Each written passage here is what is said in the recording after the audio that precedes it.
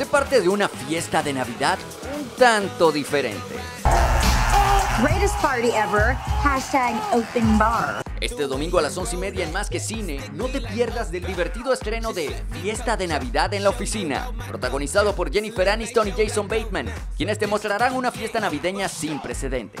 Descubre todo lo que sucedió en el Festival Internacional de Cortometrajes Haya y no te pierdas de un asombroso detrás de cámaras del esperado spin-off de Star Wars, Rogue One, próximo a estrenarse la semana que viene. Biografías, noticias y mucho más este domingo a las once y media en Más que Cine con Alex Medela por Telemetro.